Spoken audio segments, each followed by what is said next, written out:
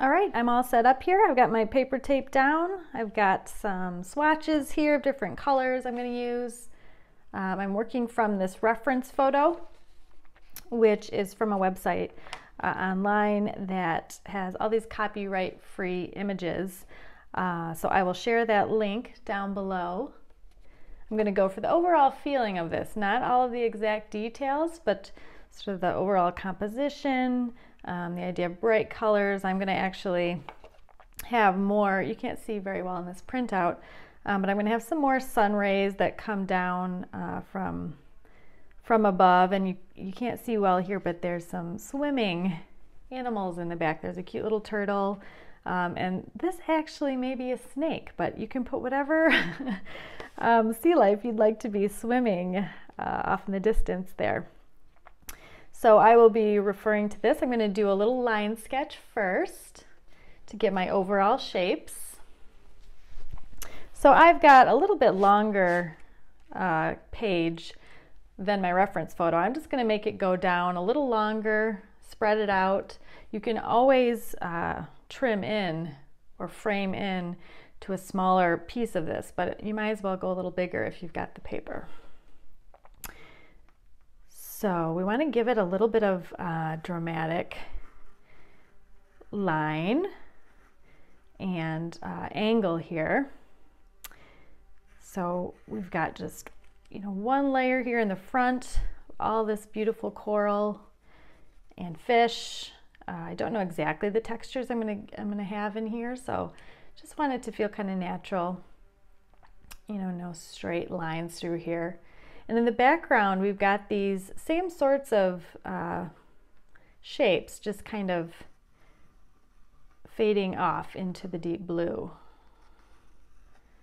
So it's up to you. You can decide, you know, the depth and how far back you want to go with things. Just keep in mind you want to try and create a focal point, uh, a light source if possible. So we've got reflection here that we will want to keep white. And then um, you don't have to draw them in, but kind of think through how you're to have your, your light uh, shine down onto the ocean floor here. And you can, if you want to, you can kind of sketch in your little creatures uh, just to get a sense of where you'd be putting them. So I think I'll do a little sea turtle here, kind of swimming.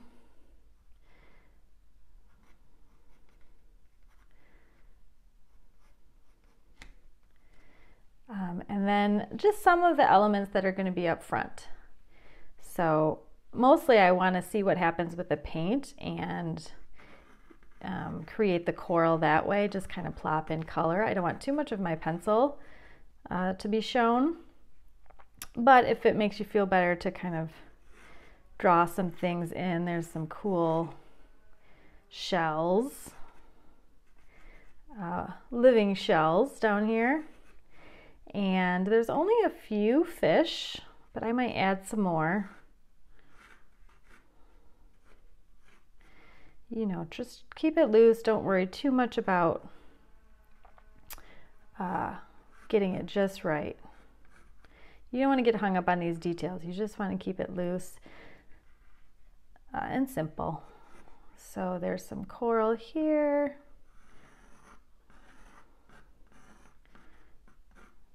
And you can always add more too, like if you want to add some seaweed that's going to come up from behind. Um, there's a big sort of fun coral shape here. Just look at the big shapes that these are creating. Don't, you know, get too much into the details of um, all the little individual uh, parts and pieces.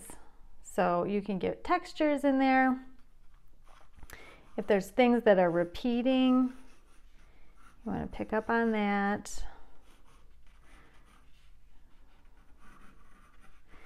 a star shape. Another star there. There's little fish. you know, you can just give the overall, like I said, shape to things. There's a bigger fish here, um, a little bit longer, more oval. It's a fin on the back, a couple along the back. Some more fish up here. If you want to make it more of a school of fish, it's always nice to have some things go off the frame for movement. And they can be, you could make this one, this whole school a little bit bigger and maybe extend across in front of um, the reef here. The number of details is up to you. You can keep it really simple too and kind of focus on the landscape. My thought is to have some things that are really um, more colorful and in focus up front. And then you can just kind of suggest things and give mood in the background. Maybe there's a couple of like silhouetted animals that are swimming back there that you notice kind of later on. Um, that might be all I need for now. So one large fish, if you wanted to add some fish over here, you can always add those in. I think I'm going to use a little bit of um, masking fluid to mask some of these fish so that I can get, make sure I get really bright colors on the fish uh, after I paint. So I don't have a ton of anemone around, you know, the really pokey ones, but I might want to add some of those in because they are going to be fun to paint. And if you kind of repeat some things around, um, that will be good for overall composition. All right, on to the next step. Okay, so we are going to do some masking fluid now on the fish so that after I paint the dark blue of the sea, we can keep the fish really uh, light and bright. So this is the masking fluid that I put in this little container. And I actually have this tool with kind of a soft plastic tip um, that's great for moving the masking fluid around once I put it down on the page. It comes out kind of quickly with this guy. So I will probably have to speed this up for you, but here we go. So I'm just going to add a dab to each fish.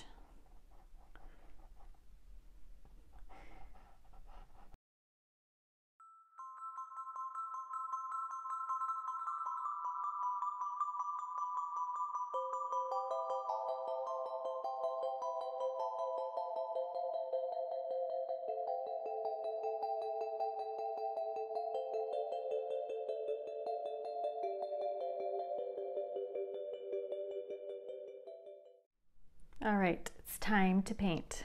So I am wetting down my palette. Show you guys my messy palette over here. Already got a bunch of the paint out. Yes, it starts to mix on the palette a little bit, uh, but sometimes you need a good gray. So I, I find that this seems to work well enough for me and I can mix up big batches if need be. So Got to get this straightened out here. Sorry about the lighting. I wish there was more sun today, more natural light. Um, but we have to make do. So we want to use one of our bigger brushes. Uh, we're going to come down and do our wash uh, in the blue area in the back of our photo here. So We'll come down, I'll probably stop at the foreground here and start to add some color, but we'll get it all wet, then we'll bring the blue down, and then we'll create our sun rays as well. So I'm gonna go with kind of an ultramarine blue. I think I'm gonna use just a big round brush uh, So get this blue kind of ready. Should have done that on the break here. Mixing up blues. I have blues and turquoise. And I'm first just gonna go down and get the whole page wet. My water right now has a little bit of, even my clean water has a little bit of blue in it. Um, but that's okay because it's mostly gonna be blue.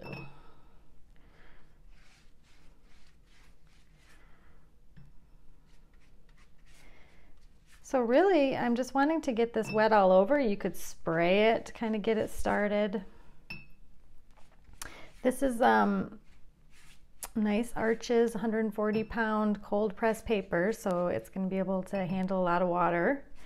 Um, it always depends on the paper that you're using, um, how well and how it is going to deal with the water on the paper, the paint, so nice and wet all over. And then I'm going to start to bring in um, sort of lighter blues and then down to darker blues. So I've got a turquoise and I'm going to kind of have the turquoise, the lighter blue up near the top and then start to darken that blue as I go down.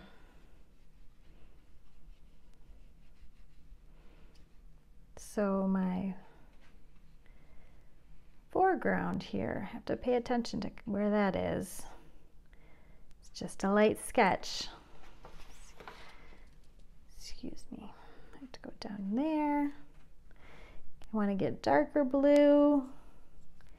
And I will darken this up in a second layer as well. But for now, I just want to drop those colors in. So we've kind of got our general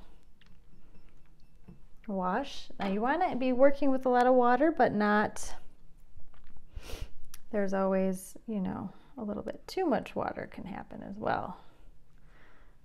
So I'm just going to drop some of that darker blue in there while it's still nice and wet. Now I'm going to switch to, I was going to switch to a smaller brush, but I think I will do a little bit kind of a purple for my reef here. Just kind of up at the edges. Things are going to blend right now. It's all wet on wet. I want to try to avoid you know, pools of water around our fish so they don't feel like, you know, so it feels like it's moving down the page. Um, I have a little bit of a, a brown color, so I'm also going to kind of drop that in a few places. Uh, also for the sort of coral and rock I want to make sure things are staying wet. So I'm just getting some of that around these lighter colors down in the foreground. And then I'm going to start dropping in, wipe up your edges so you don't have puddles of water there. You can pick up certain puddles with the dry brush. All right, I am gonna go to smaller brush now and pick out some of these really bright coral uh, areas, anemones and things, and drop in color, just really loosely. So kind of repeat some of your um,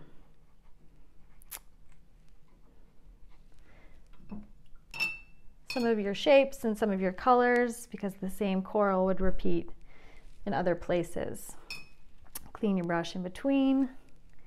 I'm gonna grab some purple a violet and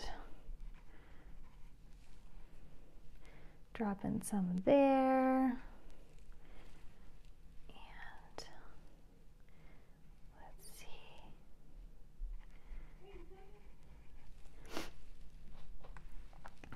Let's see different different spots around. There's a lot of gold and orange in here. So I want to get those colors in. I'm going to have this mustard, leaving some areas of white.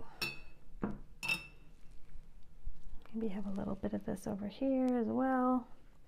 Kind of help frame that in. And a brighter yellow in a few places. So this is more of a um, lemon yellow.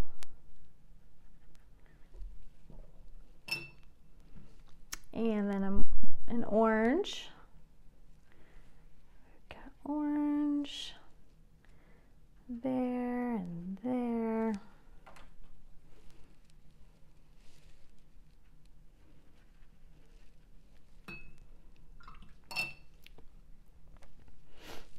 A little more of my brown rock color.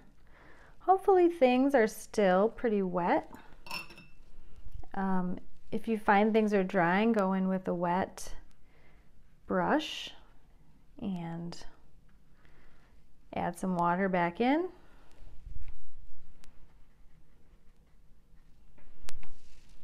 You can spray in areas too. Um, you'll get some texture there with your spray but this is an underwater scene, so it might be fun to get some of that texture. So I'm just working while it's still wet. Dry brush there to pick some of that up. And there is more. There is um, some red, and I have a really fun, this Pyrrol red kind of um, moves around the page in such a fun way. There's a little bit in here. The red really makes it pop. This one is kind of growing there.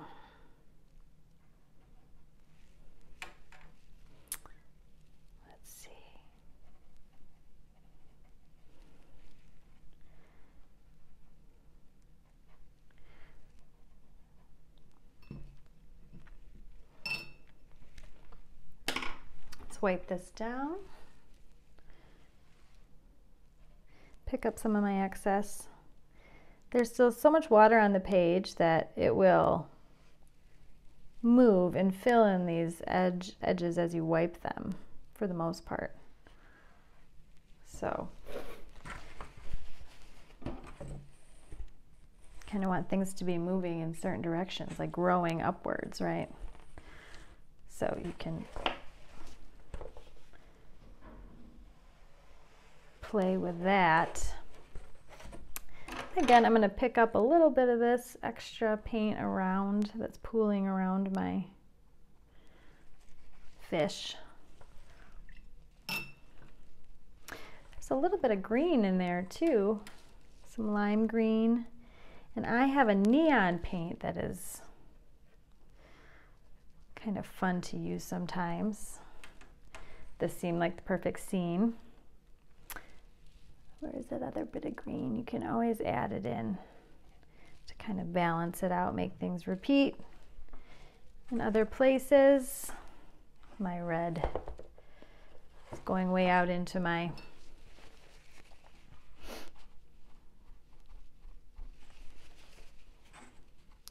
I'm going to see some textures in there, so I'm just going to kind of use that. Same here. This is um, I want this red to be coral, kind of growing, um, but I don't want it to go too far and I can see that it's still moving. So I'm just kind of simply dabbing it up there very gently. I'm always looking for my favorite paintbrush. It's time to use it. oh, I left it in the pit in the water jar. Okay. So let's see. I'm going to pick up a little bit of that.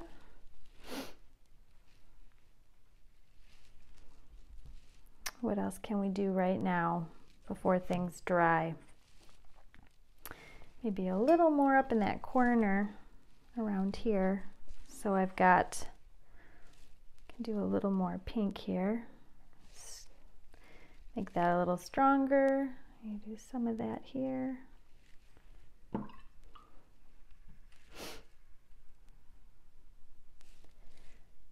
see a little more purpley.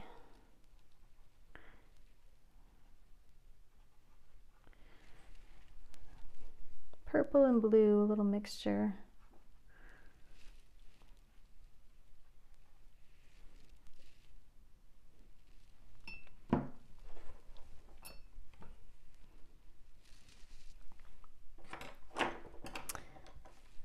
All right, I'm just going to drop in a little bit of this, um, an opaque, you know, brilliant, called brilliant pink but it does some fun things um, when mixed in with these other colors. So I want to see how that plays out. It's more fun when it's wet, of course. It doesn't dry as um, as dark or rich.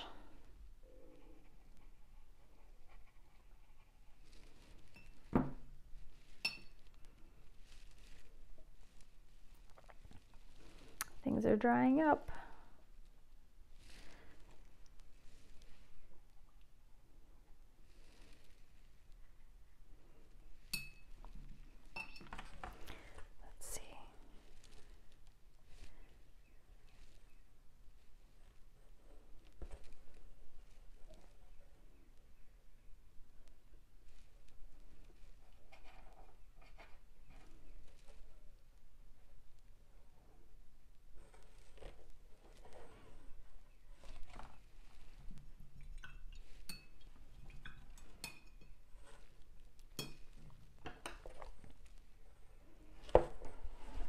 Oh, while is still somewhat wet, we want to take a dry brush, a clear brush, and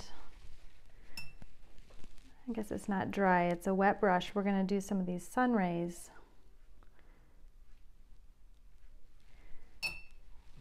down from our reflection here.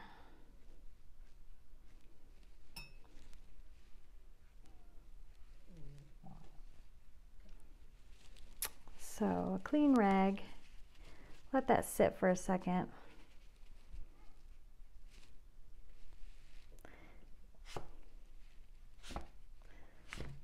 Maybe not long enough.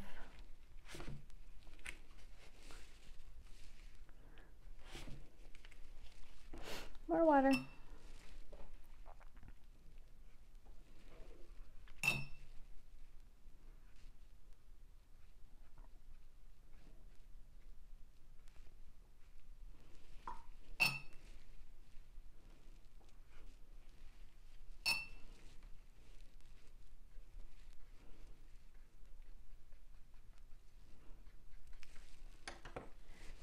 All right.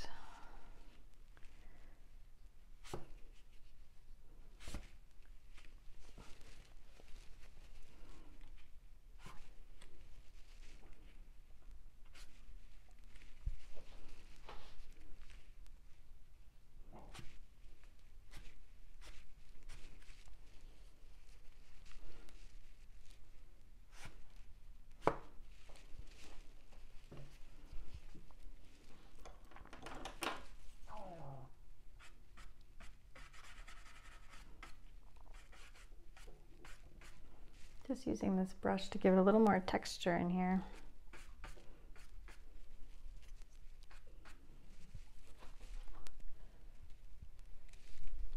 All right, I'm gonna let this dry. Speed it up with a blow dryer. Just a little bit more.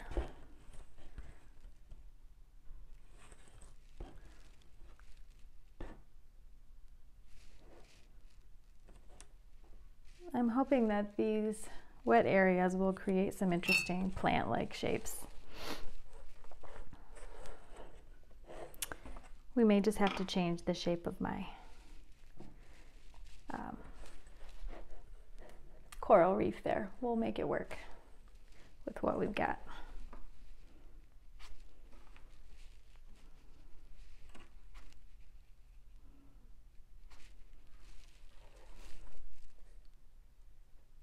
All right, time to blow dry.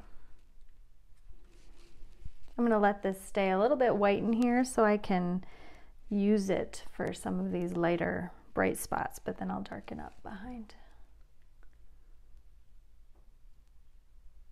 All right, so I decided not to let it fully dry yet. I remembered that I have this iridescent green paint, Daniel Smith, and I think I'm gonna drop that in in a few places, uh, maybe to define some edges, um, create a few more plant shapes. We'll see. Just feels like it might be fun, fun thing to do. This is often how I uh, approach my paintings. You kind of just have to let one thing lead to another. So I'm going to just drop in and create a little bit of an edge here with this green. Kind of look for the edges maybe that are already starting to happen.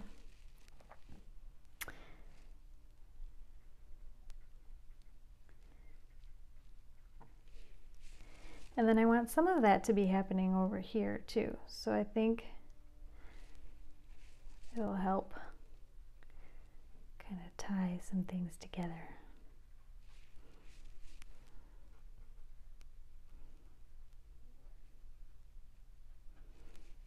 And it will give it a shimmer, which is going to be fun.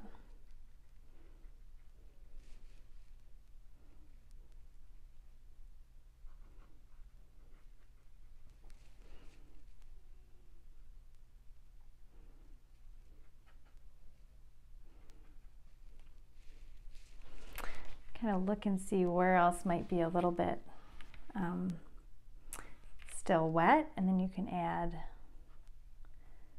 those areas.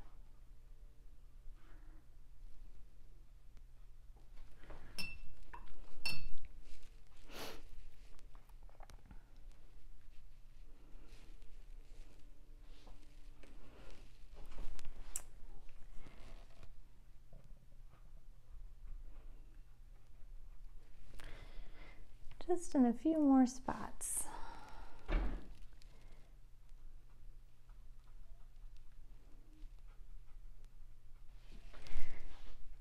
Kind of defining the edge of our foreground reef here.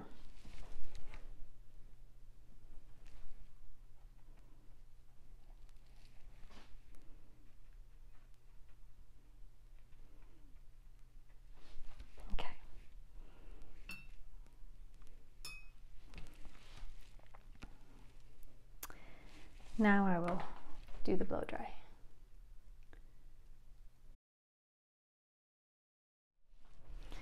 Okay, so now we want to go in and add details and, and a little bit of darkness and shadow.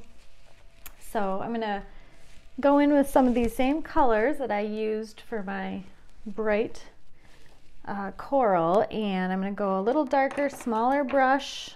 Pull out your smaller brushes um, I've got a round that is a number four and I'll probably pull up some even smaller ones for some of the finer details. So I will start up in the pink area. Go with some pink.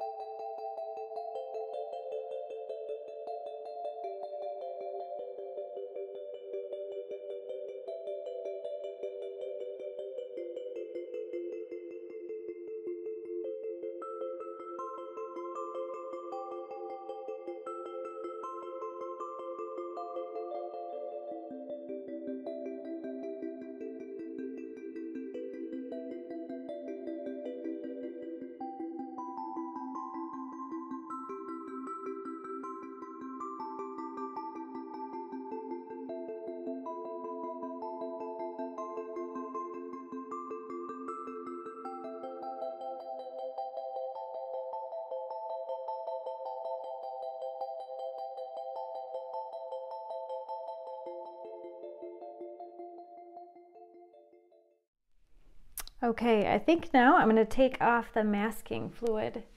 So I will get started. You can use your fingers. Um, you can use sort of a rubber eraser lifter, but um, I'm going to go through and take it all off. So I will speed through this part.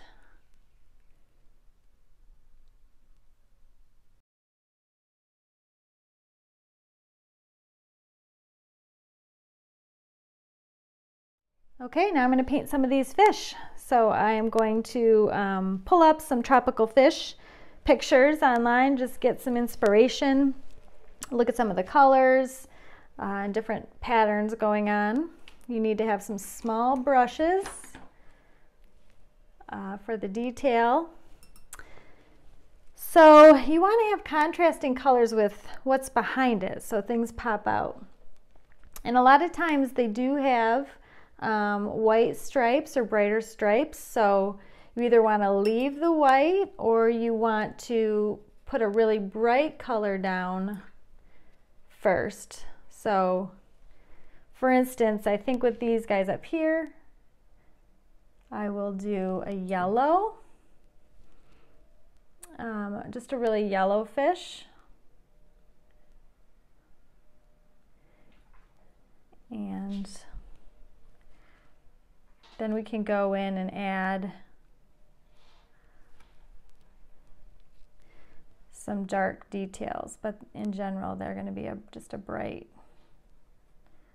yellow fish.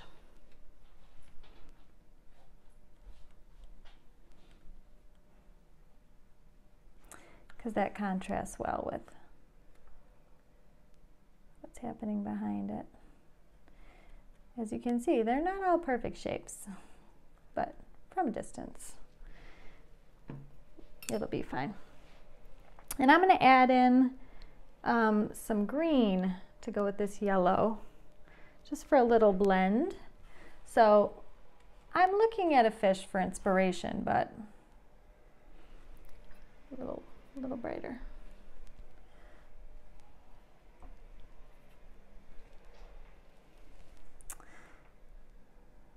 Make the tails green.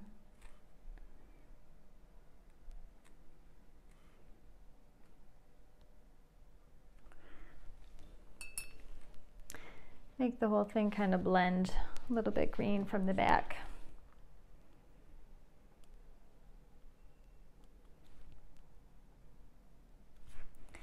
These are the lemon fish.